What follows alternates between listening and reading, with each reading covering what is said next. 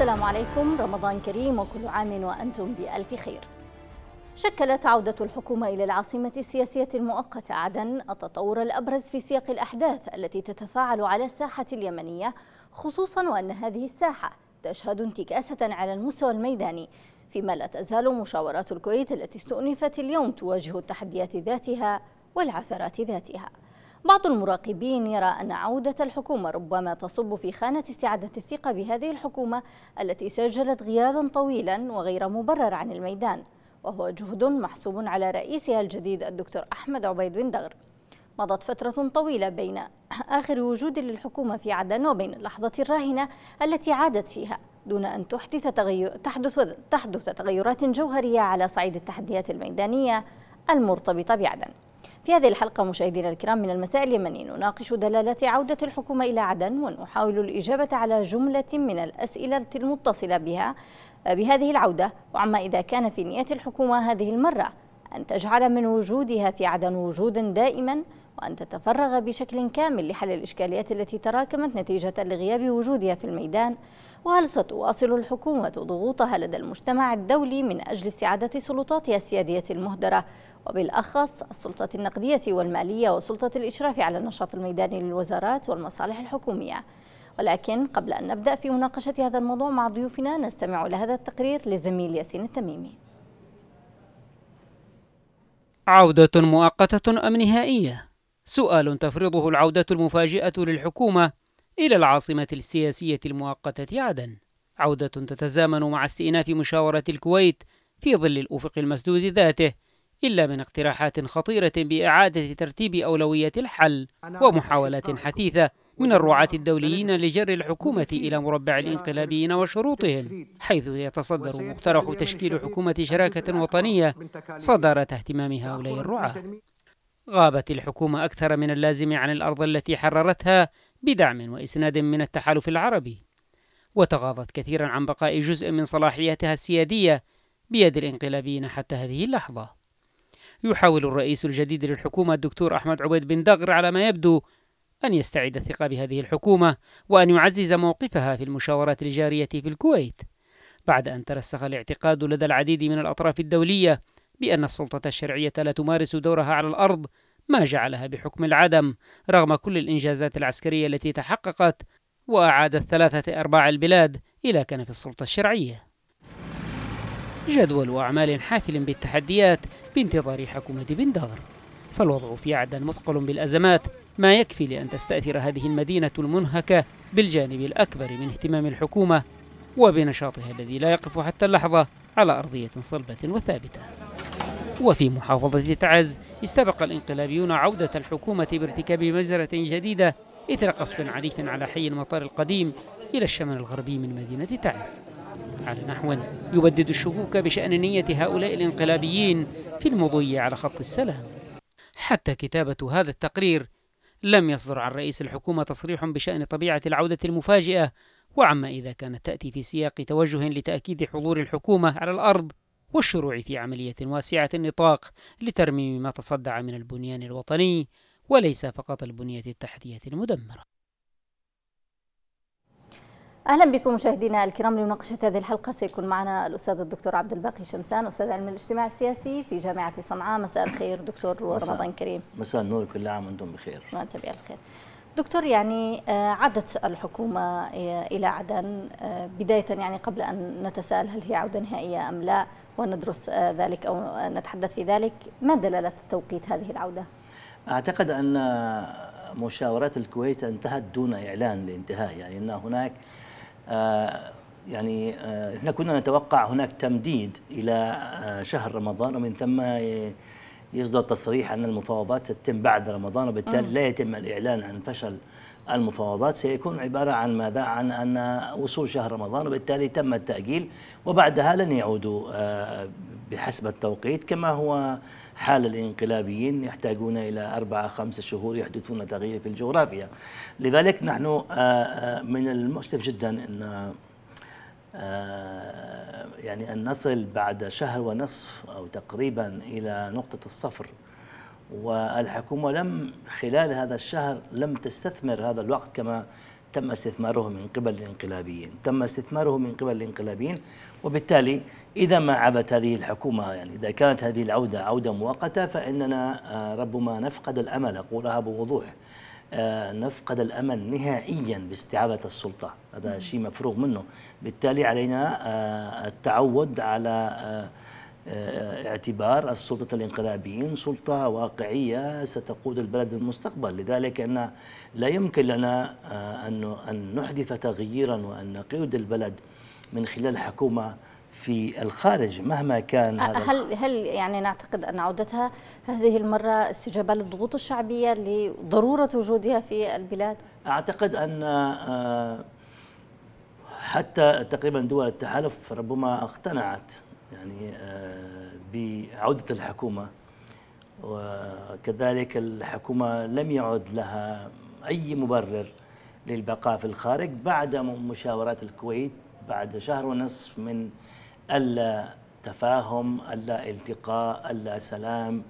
بالتالي أعتقد أن على الحكومة أن تستمر في عدن مهما كانت التحديات. يعني ربما بقائها في الحديدة مع وجود فراغ أمني عفوا في, عدن, مع نعم. مع فراغ أمني ربما يقلص هذه الفراغات بوجودها وهي تستطيع أن تعالج بقوة. اثنين آه، آه، نحن تحدثنا أن هناك سلطة أمر واقع سلطة الأمر الواقع هذه كنا نتحدث قبل سنة ونحن لا ندرك كنا نعتقد أن سلطة الأمر الواقع فقط لأنها موجودة تدير الحياة اليومية لكن اتضح أنها تسيطر على البنك المركزي استطاع أنها تصرف الرواتب يعني أنت تركت لها تصرف الرواتب للدبلوماسية الخارجية التي أحد أذرعك في الصراع. تصرف رواتب الموظفين تدير الحياة اليومية تدير الأمن. وأنت بالخارج يعني هناك كارثة حقيقية في إدارة الصراع. نحن كنا, كنا لم نكن نتصور إلا خلال أربعة خمسة أشهر عندما تم التركيز على أن آه، آه، البنك المركزي تحت سيطرتهم صارت الرواتب. يعني أنت في غيابك في الخارج عززت وقويت وجعلت هذا الانقلابيين ليس أمرا واقعا هي السلطة الحاكمة. بالتالي آه، ماذا يحدث للمواطن عندما تغادر السلطة؟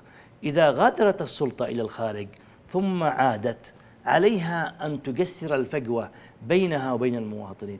ونحن تحدثنا من نفس الاستوديو تقريبا م. قبل عام وقلنا أن كيف يمكن لنا آه، أن نعطي لهذه الحكومة قدرة على استعادة ثقات المواطن من خلال إملاء الفراغ الأمني وإدارة الحياة اليومية. على الأقل في المناطق المحررة. طبعا في المناطق المحررة وأيضا تفتح مناطق آمنة للمناطق غير المحررة. تعطي للمواطن أنها أنت نحن مسؤولين عليك وفقا للدساتير. أنت جزء من السيادة وبالتالي تفتح مناطق آمنة تفتح علاقات مع الأماكن غير الآمنة تقوم علاقات غير مباشرة مع الرموز الاجتماعية والحزبية في تلك المناطق تقوم بعملية استخبارات وجمع معلومات. لكن آه هذا الفراغ اللي تم الآن نحن أمام يعني آه أمام إشكال كبير جدا. يعني أقل أقل يقولوا أضعف الإيمان عودة الحكومة. عودة الحكومة غير كافي مهم الآن في المرحلة لكنه ينبغي أن يتبعه. أين تكمن أهميته دكتور؟ أهميته على الأقل لا يمكن لك أن تذهب إلى الكويت من الرياض وتتحدث عن حكومة وطنية. لا يمكن لك أن تتحدث عن حكومة وطنية المواطن لا يشعر بها. لا يمكن لك تتحدث عن حكومة وطنية أبناء الوزراء والوزراء في الخارج والشعب اليمني يفتقر إلى الماء والكهرباء. لا يمكن لك تتحدث عن حكومة تستعيد ثقة المواطن بها وهي خارج الحدود. بالتالي عندما المواطن اليمني يشعر أنها حتى الخارج ليس المواطن اليمني حتى للخارج هناك سلطة شرعية تستعيد سيادتها على الأرض وهناك جماعة انقلابية. عندما نتحدث عن انقلاب وسلطة في الخارج. لا يمكن لنا أن نتحدث عن سلطة شرعية في الداخل. مهما كانت آه، آه، وثائق الأمم المتحدة مهما كان الوثائق الدولية الداعمة للرئيس مهما كان الدستور أو كل الوثائق ليس لها معنى أمام سلطة الواقع. بالتالي حتى نقسر هذا آه، الفجوة بالسلطة الواقعية على الحكومة أن تكون في الداخل. هذا العنصر نعم. الأول في الداخل بمعنى أن عندما ذهبوا إلى الكويت ستلاحظ يتحدثون عن الحكومة الوطنية وحكومة الخارج الحكومة المرتزقة. يعني أنت الذي ارتكبت خطأ عندما غادرت للتفاوض حول السلطة من الخارج بينما غادر سمحت للطرف الآخر أن يغادر. بالتالي أنت تتحدث عن الوفد الوطني والوفد المرتزقة. لماذا تعطي هذه الفرصة؟ بالتالي لا يمكن لنا أن نستعيد السلطة حتى وفقا لعلم الاجتماع إلا بالوجود في السلطة اثنين ربما وجود السلطة في الداخل يعفينا من مجلس الأمن ويعفينا من من تدخل دول التحالف. كيف ذلك؟ عندما تكون هناك سلطة في الداخل من آه، حكومة وطنية مسيطرة على المجال والمؤسسات عندما تستعيد البنك المركزي إلى عدن تصرف للموظفين مرتبات عندما تدير العملية الأمنية والعسكرية والدبلوماسية وتدير كل هذا يصبح الانقلابيين في مجال جغرافي ضيق. بالتالي على هذه السلطة بعيدا عن مجلس الأمن بعيدا عن دول التحالف أن تستعيد سيادتها على ترابها وبالتالي هنا جماعة انقلابية خرجت على الدستور على هذه السلطة الشرعية التي تستمد شرعيتها إلى المواثيق الدولية والوطنية أن تحرر هذه المناطق بجيشها الوطني. لكن الآن جعلوا الملف اليمني ملف دولي وملف إقليمي وأنت بقيت في الخارج لمدة عام وأكثر وهذا كارثة بالنسبة لك. يعني خلال عام وأكثر لم تستطيع. أنت بعيد عن حاجة المواطن يعني عن لا أنت لا تدير الحياة اليومية. نعم. يعني هناك تهجير مواطنين هناك رواتب تصرف هناك يعني عملية اغتيال هناك نقص كهرباء ومياه المواطنين يتذمرون. والذي يدير الحياة اليومية الانقلابيين هم يصرفون الرواتب يفصلون الأشخاص يعينوا الموظفين ويغيروا الخارطة الوظيفية. أنت وين في هذه اللعبة؟ هل أنت فقط رمز سيادة؟ نحن لسنا بحاجة رمز سيادة. الحياة السياسية المواثيق الدولية داعمة الشرعية داعمة لكن في علم الاجتماع هناك ما يسمى باستعادة دلالة الدولة وتجميعها يسمى تجميع الدلالة وتجميع السلطة مع تجميع. تجميع بمعنى ماذا؟ أن المواطن يجمعها في سلطة مجسدة اللي هو عبد الرب منصور هادي تتجمع له دلالة السلطة وأسئبتها الحكومة هذه تمثل السيادة لكن عندما لا أستطيع تجميعها وحتى إن حاولت تجميعها هي ضعيفة. غير قادرة على إدارة الحياة اليومية الذي أمامي هم الانقلابيين. اثنين المواطن يعاني وعلى من هنا أعتقد أن إذا كانت هذه العودة نهائية فنحن بدأنا في مسار استعادة الطريق الدولة. الصحيح. طيب يعني بالتأكيد دكتور يعني أن هناك رسائل أرادت الحكومة أن توجهها من خلال ذهابها إلى إلى عدن. آه، كيف يمكن أن تقرأ بعض الرسائل التي آه، أرادت توصيلها؟ هي ليس رسائل هي يعني أعتقد عودة عودة العودة المنطقية وليس رسائل. لم نعد نحن في توقيت رسائل. هذا الرسائل عندما يكون لنا أسبوع أسبوعين لو كانت عندما عاد الرئيس له مرة ثم غادر كانت لنا رسالة. عندما جاء الرئيس إلى عدن ثم غادر الأمم المتحدة كانت رسالة أيضا. وكانت لأيام. عندما نحن الآن أمام آه، واقع موضوعي يستدعي تدخل موضوعي قصدي. لا ليس هل يمكن أن نعتبرها رسالة للمجتمع الدولي الذي يطالب بتشكيل حكومة قبل تسليم الأسلحة؟ أعتقد أن آه، هذا أيضا آه، يعني إلى حد ما جائز. يعني يحاول يسحب البساط عن هذه الطروحات لأن هم الذين تركوا الحوثيين يتحدثون عن حكومة توافق وطني وسأتحدث اليوم بشكل واضح. نعم. لقد ارتكبوا الكارثة الكبرى عندما قبلوا بالخمس نقاط. هذه الخمس نقاط هي التي أحرجت السلطة الشرعية ودول التحالف. يعني الحوثيين اعتمدوا على ملف حقوق الإنسان وهناك جماعات سلالية تعمل مع الإنقلابيين. وأنت لديك ملف حقوق الإنسان غني وربما تسقط تسقط يعني يسقط الانقلاب وتحاكم عبد الملك الحوثي وتحاكم مخلوع صالح وكل رموز الانقلاب بهذا الملف وليس بالخمس النقاط.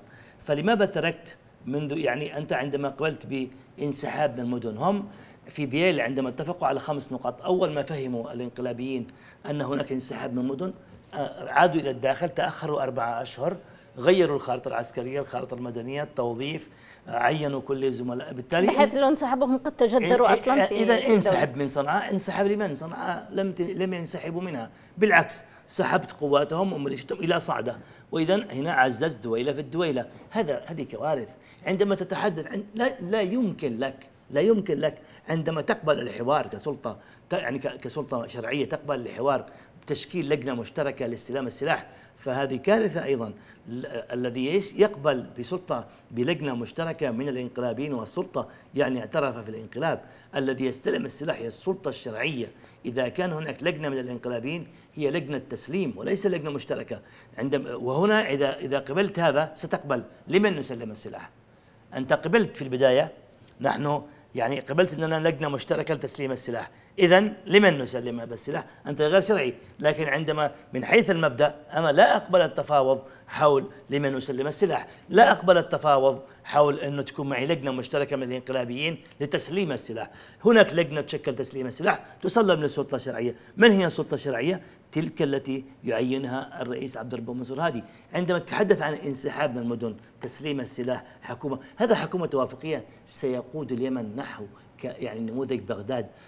وليس نموذج بغداد حتى نموذج بغداد غير صالح أن تصبح الجنوب كردستان. هذا لا يمكن تثبيته الجنوب سيتفجر والمخلوع صالح الآن لأنه خارج اللعبة هو الآن يحاول أن أن يعود للداخل. يعود للداخل ويقول للخارج اتفقوا مع الحوثيون مع ما تشاءون. أنا اللاعب الرئيس وأنا من الأوراق بيده. بالتالي وفي وفي الجنوب حتى عندما يتحدثوا المنطقة الجنوبية بأنهم سيحققون فك الارتباط بالتعاون مع الحوثيين بالعكس الحوثيون في لحظة متقدمة مع المخلوع صالح سيقومون بالتكاتف وإقامة تحالفات مع كتل أخرى لتحقيق الهدف الوطني بإعادة الوحدة الوطنية كهدف مشترك لكثير الذاكرة الوطنية.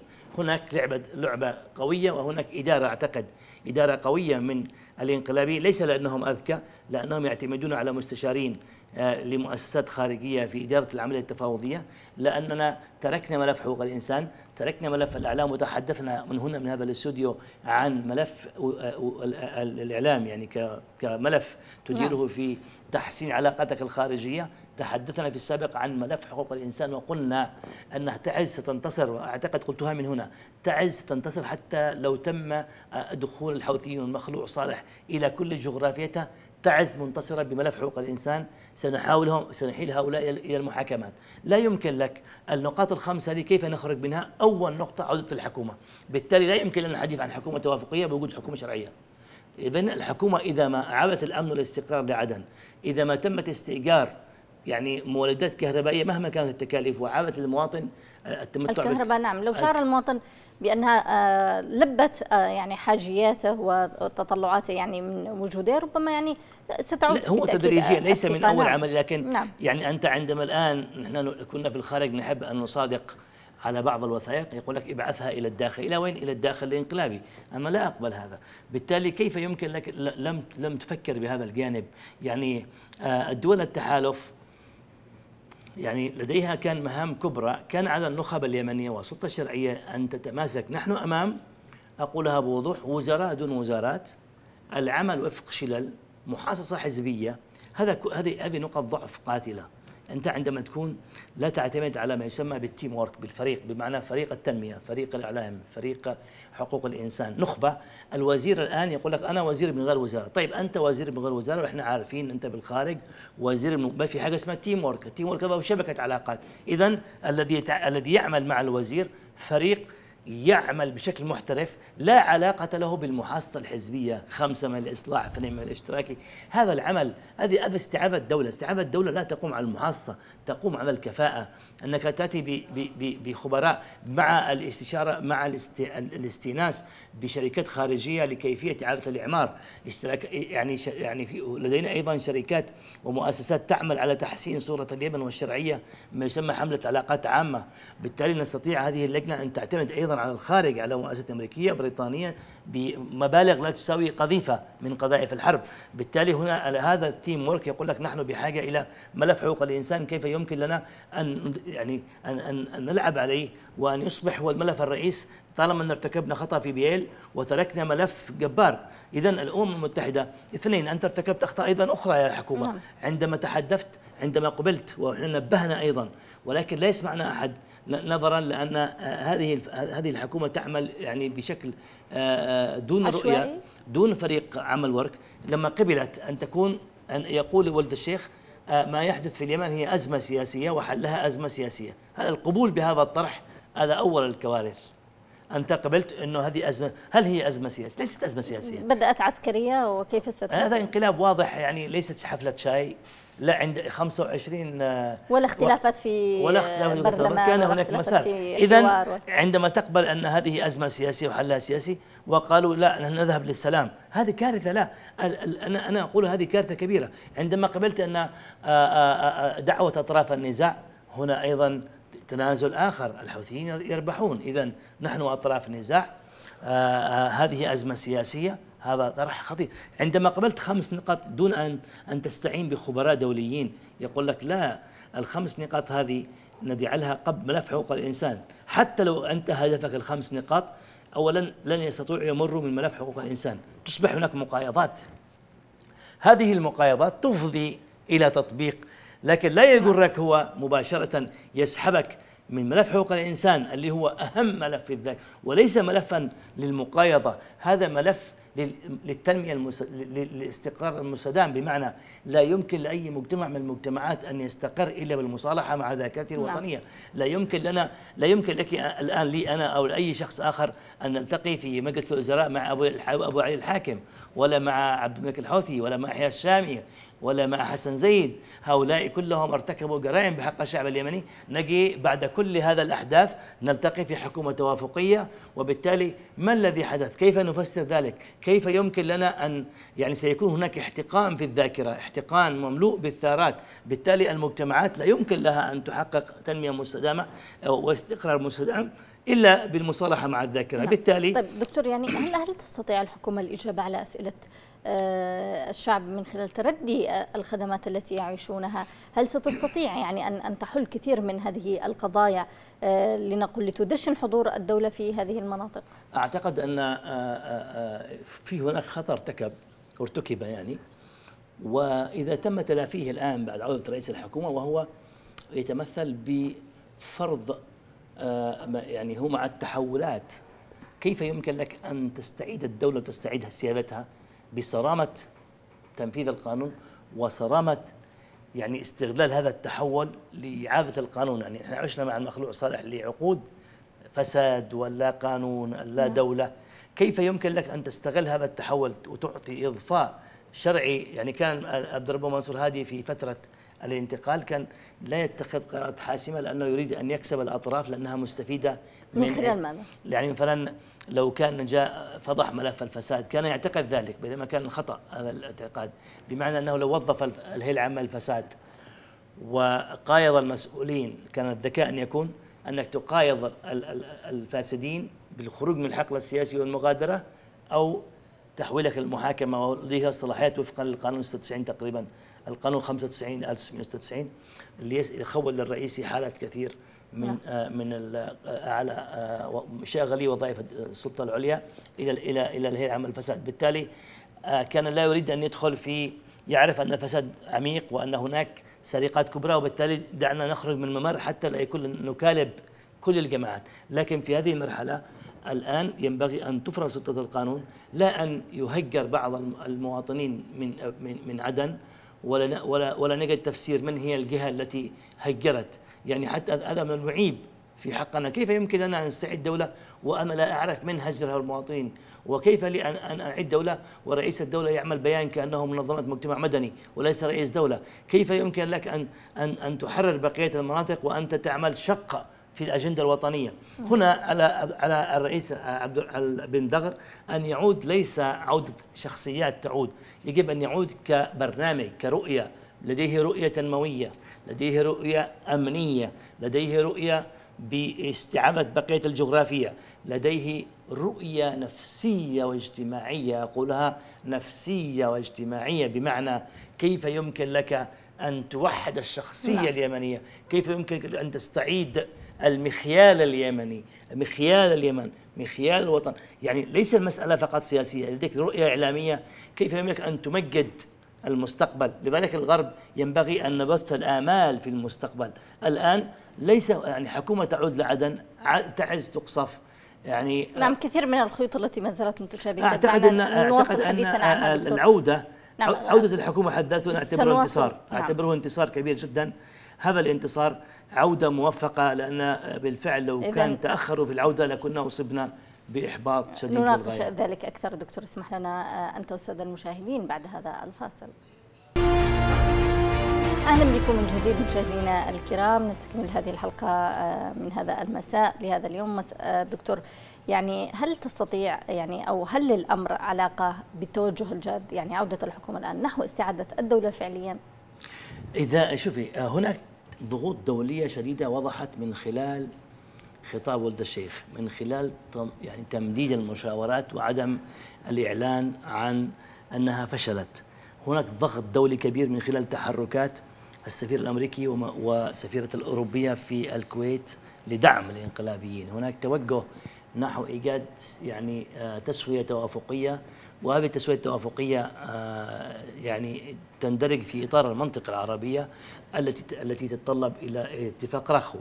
نعم. بالتالي آه، هناك توجه دولي لا يمكن لنا أن نحدث تغيير فيه والدليل على ذلك وطبعا القصور وين؟ لما نجي ملف حقوق الإنسان الذي أدخل السعودية في موقف مع دول التحالف في موقف ناتج عن قصورنا نحن النخبة اليمنية. لأننا أهملنا ملف حقوق الإنسان. لم ندخل القنوات التلفزية, التلفزية إلى تعز وقمنا بتهريبها أو كما هو حال كل القنوات ندخل كثير من القنوات إلى مدينة تعز ندخلها إلى عدن تقوم بالتصوير تنقل الأحداث وليس القنوات العربية نحن بحاجة إلى القنوات الإنجليزية إلى القنوات بالصيني بأي لغة كان نوفر عدد من الصحفيين ندخلهم إلى هذا المجال لينظروا ماذا حدث. نعم بالتالي هذا هذا, واجب هذا يعني. جانب. لحظة دقيقة. بس أكمل الفكرة عشان ما أخرج لو سمحت ما أنساش. بالتالي أنت عند عندما يكون لك توجه دولي بهذا الشكل يعني توجه دولي يريد اتفاق رخو وعندما أنت يعني الأمم المتحدة تنظر لها أنها اعتمدت على تقرير لحقوق الإنسان لتحرج دول التحالف من التقدم. يعني في مؤشرات عندما تمدد الكويت إلى شهر وشوي. بمعنى ماذا؟ ثبتت الجماعات في الواقع يعني أصبح المخلوع صالح والحوثيين مثلهم مثل سلطة شرعية العودة إلى الاحتراب تحتاج إلى تهيئة. اثنين آه، اعترفت بالحوثيين كطرف من أطراف النزاع قوي ولاعب رئيس. ثلاثة يعني أنت المواطنين يدخلوا في مرحلة الإحباط النفسي. المقاومة تدخل في مرحلة اللا استعداد لأنه أنت بحاجة لتهيئها. وبالتالي الطرف الآخر ماذا فعل؟ قام بعملية الاغتيالات أدى إلى تفجير الكهرباء عشان يدخل الأزمات يعني أحدث تحول في حياة الناس تفقد المواطن ثقته بالسلطة هناك توجه ليس لديك من مفر نعم أول خطواتك هو نعم. العودة نعم. إلى عدن. أه، سمح لنا دكتور أن يعني يشاركنا الحوار الأستاذ زيد السلامي الإعلامي المرافق لوفد المشاورات أه، الحكومي من الكويت. مساء الخير أستاذ زيد. مساء النور عليك وعلى ضيفك الكريم وعلى السادة المشاهدين. أهلا بك معنا أستاذ زيد. برأيك أستاذ زيد عودة الحكومة إلى عدن في هذا التوقيت بالذات ما أهميته بالنسبة للمشاورات في الكويت؟ آه، أنا أعتقد أنه هذه الخطوة هي خطوة في الطريق الصحيح وإن جاءت متأخرة جدا. لكن أن تعود الحكومة في هذا الوقت نتمنى أولا أن تكون العودة هي عودة دائمة وأن تستقر الحكومة الشرعية اليمنية في مدينة عدن لترتب أوراقها سواء على المستوى السياسي أو على المستوى الخدمي وعلى المستوى الأمني والمستوى العسكري. أعتقد أن هذه العودة ستنعكس بشكل إيجابي على سير المشاورات في في الكويت. كون هناك أطروحات تطرح من قبل بعض السفراء ومن بعض الدول الدائمة العضوية بأن الحكومة اليمنية تتحدث بأنها تسيطر على 80% من الأراضي اليمنية الا انها لا زالت تعيش في المنفى ولا زالت تعيش في الرياض وبالتالي هذا لا يستقيم ويعني يعكس صورة بأن آه، إن الحكومة اليمنية لا تسيطر على هذه المناطق نعم. وإن هذه المناطق لا لا تزال فيها خلايا أو سواء خلايا كانت عناصر إرهابية أو خلايا مسلحة تابعة للميليشيات الانقلابية لكن الآن أن تكون الحكومة في عدن وأن تستطيع أن تتحرك في عدن بشكل آه، سلس وتوفر الخدمات للناس ويكون لديها خطط وبرامج آه، على المستوى الخدماتي والمستوى الاقتصادي وأيضا على المستوى الأمني والعسكري فأعتقد أن هذه رساله ستكون دافعة قوية لوفد الحكومة اليمنية الذي لا زال حتى اللحظة متمسك بالمرجعيات ومتمسك بتنفيذ القرار 22 نعم. هل هل هل عوده نعم. هل سيعزز حضورها أستاذ زيد إسناد لرؤية آه، وفد الحكومة المفاوض في المشاورات فيما يتعلق باستعاده الدولة؟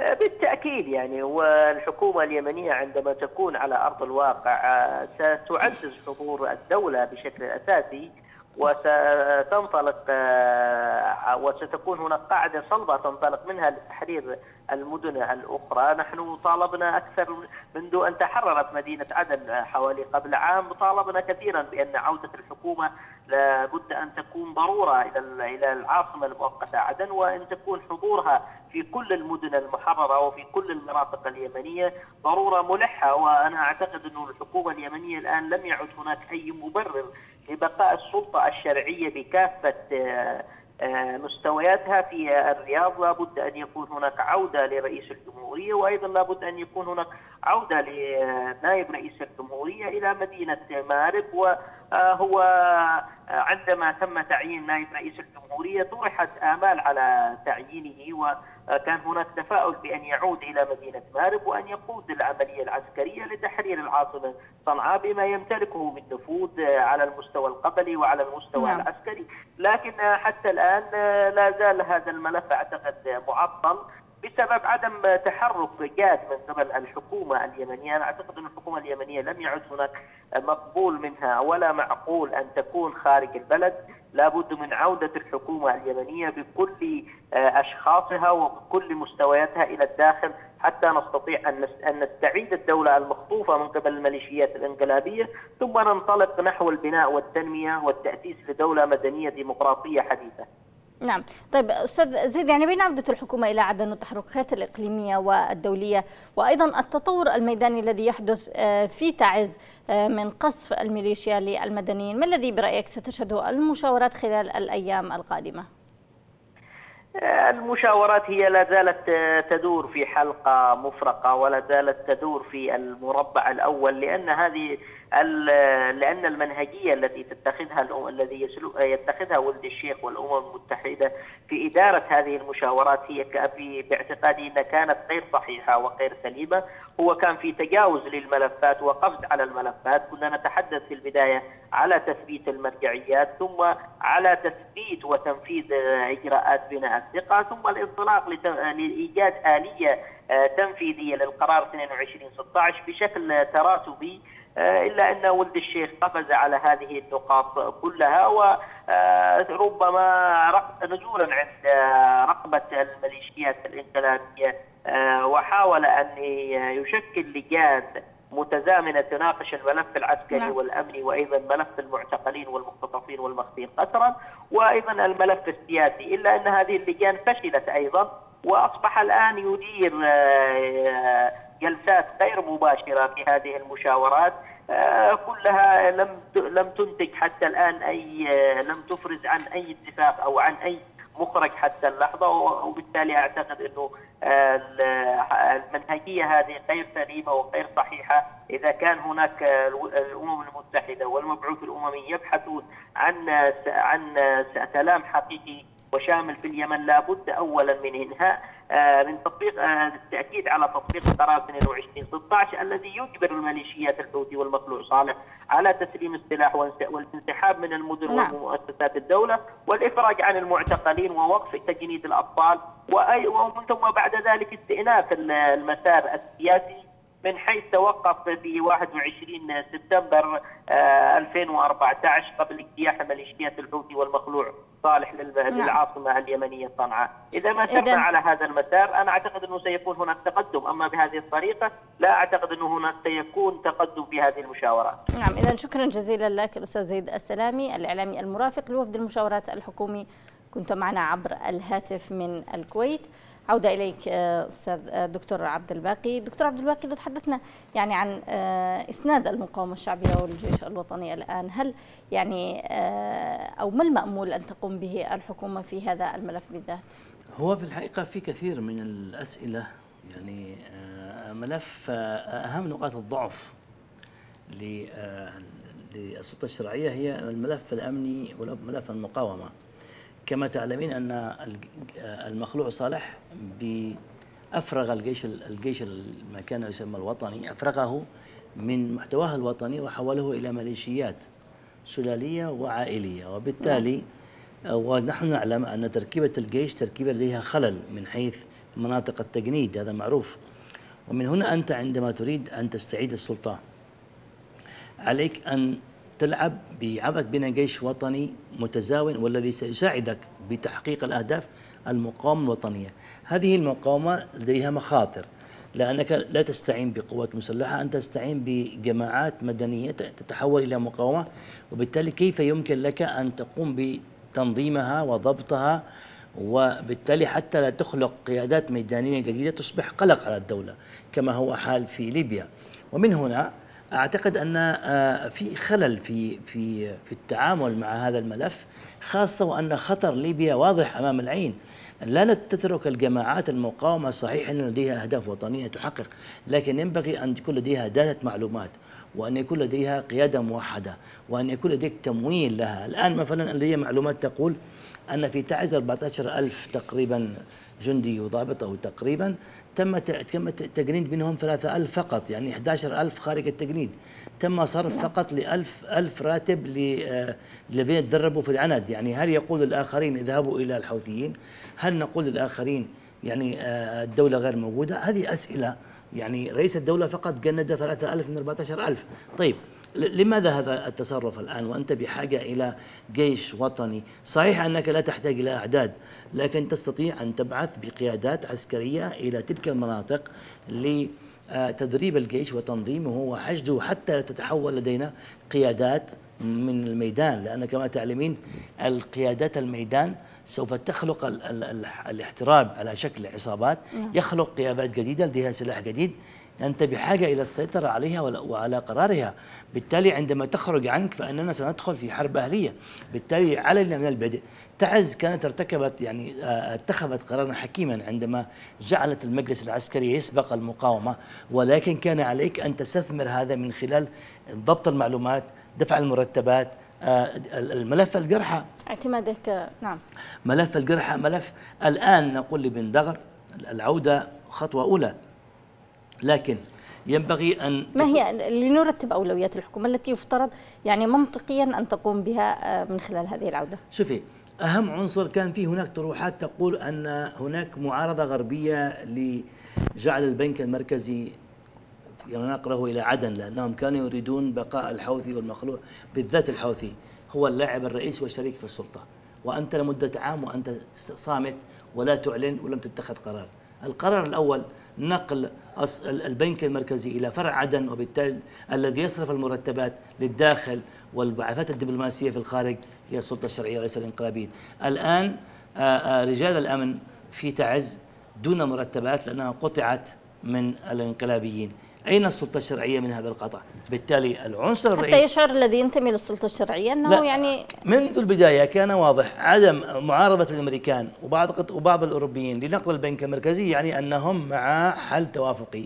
أنت قبل المعارك العسكرية البنك المركزي ينقل إلى عدن. صرف الجوازات تنقل للسلطة الشرعية. الإمضاءات. مهما كان كانوا يتعذرون ليس لدينا داتا معلومات. هذا كلام فاضي. نستطيع أن نقوم بداتا وأن تقوم ببعض العمليات لكن لا تدع. السلطة هي سلطة اقتصادية عن طريق البنك المركزي. اولا صرف المرتبات آه العنصر الثاني على السلطه الشرعيه أن المواطن يشعر بها بسرعة. كنا كان المخلوع صالح يعمل لهم آه يستأجر كهرباء مؤقتة في الأعياد يعمل لهم ضوء لمدة شهر ثم يطفيه. بالتالي نحن نستطيع الآن في هذا الشهر الكريم أن السلطة تستأجر بعض المولدات الكهربائية. أو أن تستعين بالتحالف يعني ما دور التحالف في مثل هذه النقطة يعني. إعادة الحياة. هناك ناس في الحديدة يموتون كل يوم تقريبا واحد من مرضى السرطان. هناك الفشل الكلوي هناك مواطنين حمى يعني الضنك ما إلى ذلك من الأوبئة. يعني خالعين ملابسهم. هذا محرج للسلطة. بالتالي عليها أولا أن تكون لديها خطة لاستعادة ما يسمى سيادة الدولة في في في الوزارات السيادية. هذا عنصر لا لا عودة أشخاص في طائرة. يعني عودة معها برنامج. العودة ليست عودة أشخاص عودة برامج. البرنامج الأول استعادة البنك المركزي وكل القرارات المركزية. اثنين آه، الحديث عن الآن عن ما يسمى تجميع السلطة في مركز. الآن نحن بحاجة إلى ما يسمى رجعنا إلى مرحلة بناء الدولة بناء نعم. الدولة الوطنية. بمعنى أن تتركز السلطة وسحب كل السلطات الفرعية إلى سلطة المركز بحيث يكون المركز هو الذي يشرف على كل شيء حتى تماسك البلد. نحن الآن عدنا إلى مرحلة ما 26 سبتمبر وإلى 14 أكتوبر عندما الدولة الوطنية تبدأ بإضعاف السلطة التقليدية وإضعاف السلطة الفرعية ولصالح السلطة المركزية. وبالتالي أن تجميع السلطة وإعادة توزيعها من المركز من عدن. اثنين العنصر الثاني إعادة المسألة الأمنية معالجة المسألة الأمنية والفراغات الأمنية. ووجود السلطة. حتى لو وقعت انفجارات داخل قصر الرئاسة لا مغادرة. البقاء هناك هذا نقطة ضعف استغلها الأوروبيين أنكم مسيطرين على 70% مسيطرين على 80% أنتم بالخارج.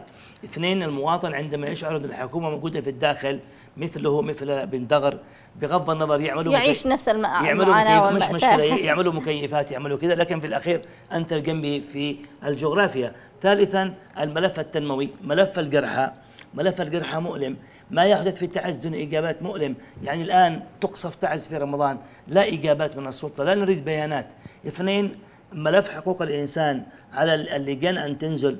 بنقول ليس باللغة العربية على اللجان أن تنزل باللغات الأجنبية. على الفريق اللي عاد لعدن أن يكون مصحوب بفريق من الصحفيين والإعلاميين ليس أيضا 70% من اليمنيين يكتبون للمواقع اليمنية لا. نحن بحاجة إلى فريق يعمل تقارير أمنية من الداخل من البي بي سي من حتى لو كتبوا التقارير الأخرى لكن بالأخير لا يستطيعوا أن يغالطون الأكبر قدر ممكن. يستدعي منظمة هيومن ووتش يستدعي كل منظمة حقوق الإنسان للداخل.